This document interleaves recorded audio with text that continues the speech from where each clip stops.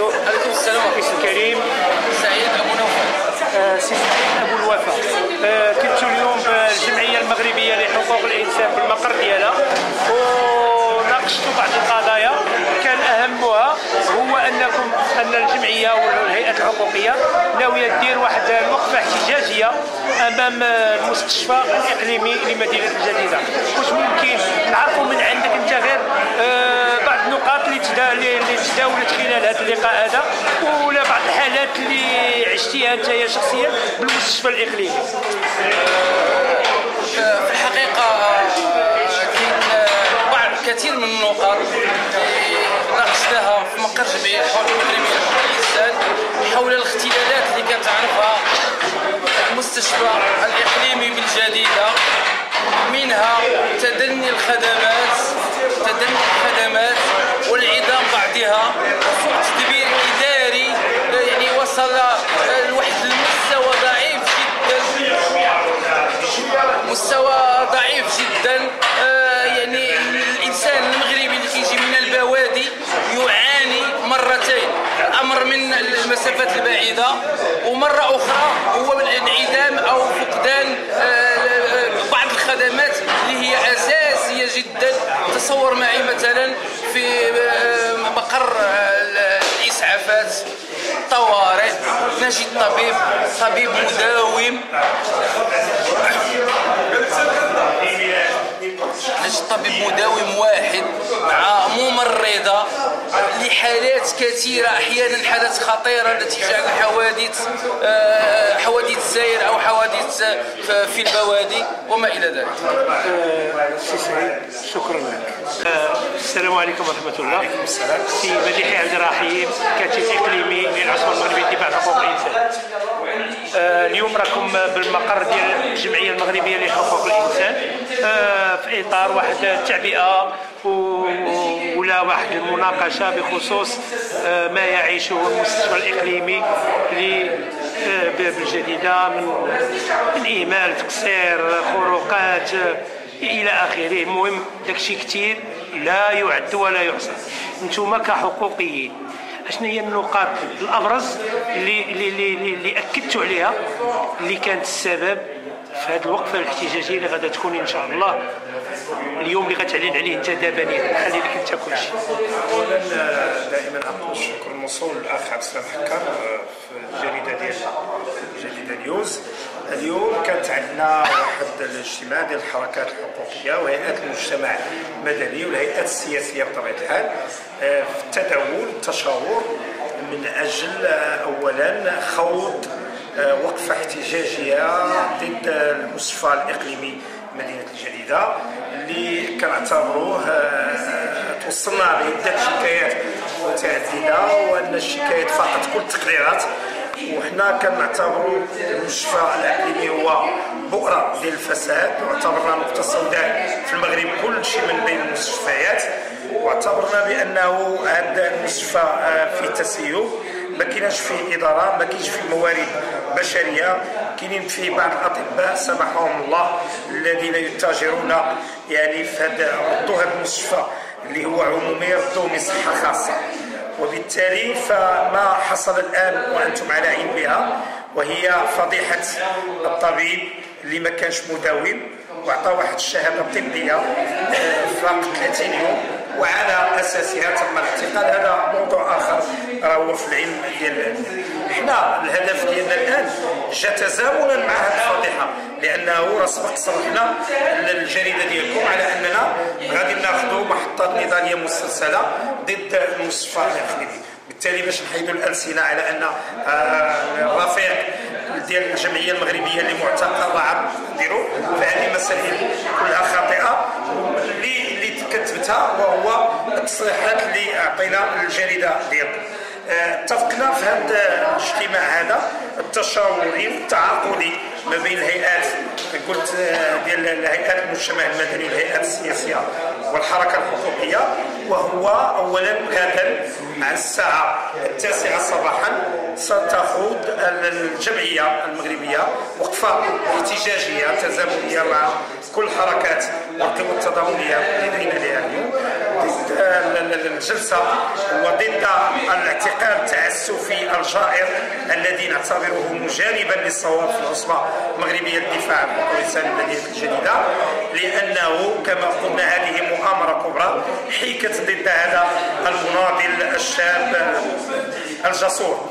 وبالتالي فمن خلال هذا المؤتمر الإعلامي ديالكم نجدد تضامننا مع المعتقل أحمد الذهبي والذي يتبع الآن في زنزانته وكذلك تقرر خوض وقفة احتجاجية يوم الخميس على الساعة الثالثة ونصف أمام المستشفى الإقليمي لكنها لن تكون الوقفة الأولى لأنه قررنا على أنها ستكون وقفة احتجاجية مستمره ضدا على الفساد وضدا على كل الاحتلالات اللي كيعرف الآن العام والخاص الصغير والكبير وكذلك على يعني غياب المسؤولين لا أحد نتحاور معه لا أحد يمكن أن نعقد معه جلسة حوار ويبين لنا الأسباب ديال هذا التدهور الخطير ديال المستشفى الاقليمي بالجديدة اللي توافدت علينا عدة شكايات وتحية نضاليه. شكرا سي مديح. اولا السي العسال السلام نائب رئيس الجمعية المغربية لحقوق الإنسان في الجديدة. آه اليوم كان عندكم واحد الاجتماع ولا لقاء آه مع المناضلين مع هيئات ديمقراطية آه تدارستوا فيه بعض القضايا. كان أبرزها المشكل ديال المعتقلين أحمد الدعبي سي المعادي آه، سي الركبي سي شعيب بوجابر يعني أشكال النضاليه اللي كل واحد غادي يديرو. والثانيه هي الشكل النضالي مع المجتمع الجديد ككل. ألا وهو متمثل في الحق ديالو في الصحة. المستشفى الإقليمي لمدينة الجديدة اللي أصبح عبارة على أي شيء إلا مستشفى. أه بغينا نعرفوا من عندكم واش يعني غادي تجردوا واحد اللائحة فيها هالمطالب ولا فيها الملاحظات ولا هالخروقات إلى آخره لأنه أي حاجة بغيتي ديرها تجي مع ذاك المستشفى. وبالتالي غادي تطالبوا باش انها تصحح ولا انكم غادي نطالبوا كاريمون بالتنحية ديال الإدارة ديال هذا المستشفى شكرا سي عبد السلام حكار مدير جريدة جريدة نيوز الإلكترونية الحاضره دوما وباستمرار في قلب الهموم والاهتمامات ديال الحركة الحقوقية والنضالات ديالها. انت مشيت لي سؤال ديريكت. أشنو غادي نديروا في هذه الوقفات وهذه الأشكال النضاليه اللي قررناها فيما يتعلق بالاختلافات الكبيرة والعميقه اللي كاينة في المستشفى. حنا غادي نمشيو في اتجاه واحد. هدف واحد مركزي هو إعادة هيكلة المستشفى ككل من الناحية الإدارية والتنظيمية ومن ناحية المعاملات والتجهيز والتعامل مع المرضى. وبالتالي تجاوز جميع الاختلالات اللي حنا راصدينها واللي راك تبعتي معنا في الندوة في اللقاء بأننا درجنا واحد العدد ديال الاختلالات. فيها سوء تدبير إداري فيها آه قلة الموارد البشرية إن لم قلة الموارد البشرية. فيها طبيب قلنا على في المستعجلات على شحال من 1000 100000 ولا 200000 نسمة على مستوى الجديدة والإقليم وسيدي بنور إلى آخره فيها كذلك الاحتجاز ديال المواطنين فيها التعسف على المواطنين فيها كذا. ولكن أخطر لكن في هذه المؤسسة هو التدبير الإداري السيء. لو كانت مؤسسة فيها إدارة كفءه وفيها إداريين اكفاء ما كانش تكون هذه المشاكل كاملة اللي كاين بالفعل سي رسال ومن ضمن الحوايج اللي سمعناكم هضرتوا فيهم هي أن كما قال ليه الطبيب ديال القلب هذه كيقول لك قالها المدير شخصيا الطبيب ديال القلب إلا بغيتي من عنده rendez-vous خاصك تسنى ثلاث شهور. oui. والطبيب ديال القلب ولا ما عرفت عام ولا ما عرفت لا الطبيب ديال القلب السيد قالوا له خصك تسنى عام. التحليلات الطبيه بعض المرات كتمشي في شهر خمسة كيقول لك تجي في شهر تسعود. التحليل الطبي ديال الكوليسترول ولا ديال شي مرض ما عرفت كي داير ولا شي ورم يعني يجي داكشي اللي بقى منك يجي. يعني وحنا عايننا حالات ديال الناس اللي توفاو اللي توفاو بسبب الاهمال عايننا حالات ديال احتجاز مواطنات. مواطنة والدة ما خلاوهاش تخرج تيقولوا لها الا بغيتي تخرجي من الاوراق خرجي وانت جيتي ودرتي معنا سجل عيننا كان وبالتالي إحنا هاد هاد سننظم وقفة احتجاجية. ونتمنى أن تكون كبيرة وحاشدة ولكن هذه وقفه أولية. مهما كان العدد غتكون نهار الخميس مع الثلاثه ونص قدام المستشفى. ومن داخل هذا المنبر ديال الجديدة نيوز النداء للمواطنات والمواطنين وبصفه خاصة المتضررات والمتضررين. وكافة القوى الديمقراطية باش تجي تحضر بهذه الوقفة الاحتجاجية. ولكن سننظم برنامج. حنا يمكن نديروا بحال داكشي اللي دار طنجه على امانديس ولكن غنديروا على السبيطار.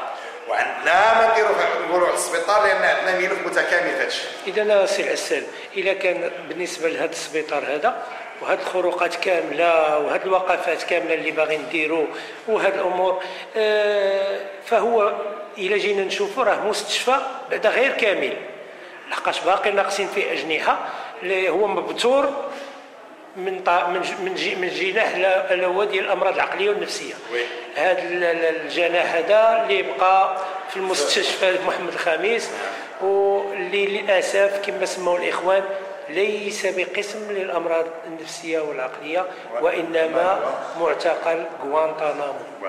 وبالفعل سي العسام والله القسم الا دخلتي ليه غتحس براسك في غوانتانامو. دخلت ليه؟ دخلتي وعايد الوضعية؟ راه حنا ما عندناش مستشفيات. هذاك لا المستشفى الإقليمي اللي مازال ما قدروا يعطيو التسميه ولا مستشفى محمد الخامس السابق اللي دابا خلاو لما يسمى بالأمراض العقلية. أنا راه كنظن بويا عمر أحسن منه. أحسن منه.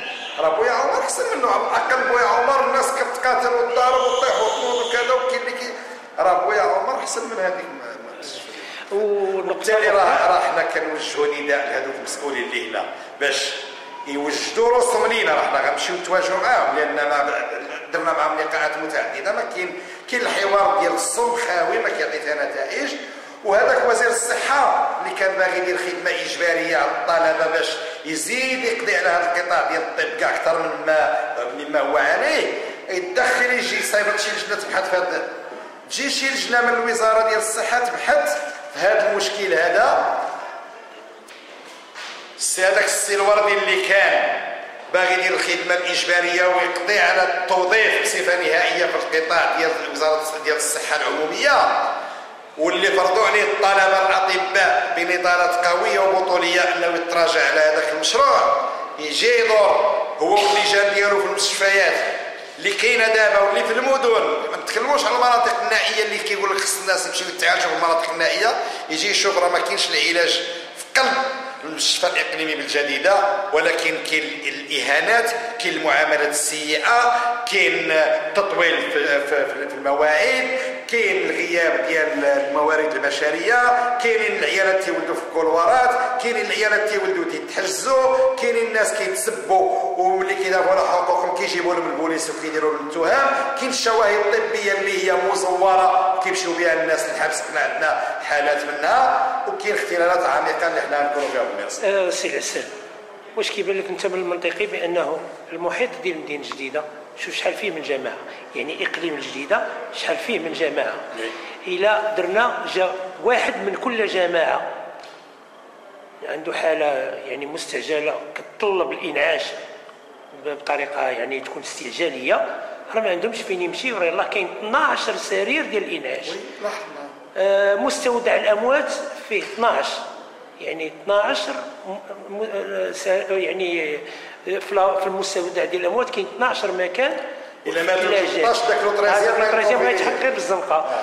في حين أنه مستودع الأموات الجماعي من نهار خونوا ليه الثلاجات ديالو الماطر ديال الثلاجات ديالو في التسعينات ما قدروش يشريهم ولا ما عاد ما بغاوش ولا هادي. راه هما دابا كاينين في هذيك الإدارة اللي باقا محسوبة إدارة مغربية وما كتحملش العالم المغربي محيدينه محيدينه تماما حنا لاحظنا كانت واحد المرة وقعت واحد حادثه سير ديال واحد الحافلة وجابوا الناس مصابين. الناس بقاو مجبدين في الكولوارات مشينا عند المدير ديال السجن اللي استقل السيد ماشي السجن المستشفى المستشفى. راه هو الحقيقة راه هو أقرب إلى السجن أكثر منه إلى المستشفى. كاين السيد المدير ديال المستشفى. السيد المدير الله يجزيك الخير. الناس راهم كيتألموا اللي مهرس اللي كذا في الكولوارات قال لك ديروا لي قولوا لي اش من حل غندير لهم أنا ما عنديش. السريرات اللي عندي راه معمرون للأسف هذا رد ديال الإنسان اللي هو مدير ديال المستشفى وخصو يوصل للسيد الوزير. لأنه بحال كيقول لك راه ما عندكمش وزير الصحة. كون كان عندكم وزير الصحة كون جا دار معايا أنا الأول إجراء عاد يشوف لهاد الناس هادو أسرة. أنا كيبان لي على أي سي العسال بغينا من عندك نداء اخير للمواطنين ديال مدينه أخير. جديده أش كتناديهم؟ كنقول لجميع المواطنات والمواطنين ديال مدينه جديده اللي ما عندهمش الإمكانية يمشيو للكلينيكات ديال خمسة النجوم واللي كيلتجئوا للمستشفى الإقليمي باش يتلقاو العلاج ولا يديروا تحليلات ولا يولدوا ولا هذا يجيو نهار الخميس مع الثلاثة ونص أمام المستشفى باش نحتجوا بصوت واحد ضد هذه الوضع الوضعية الكارثية ديال المستشفى. ومن خلالك السي عبد السلام من خلال الجريدة ديالك كنقول للسي الوردي يمشي يحط السوارت. راه في في تدبير القطاع. وشكرا. شكرا سي العسال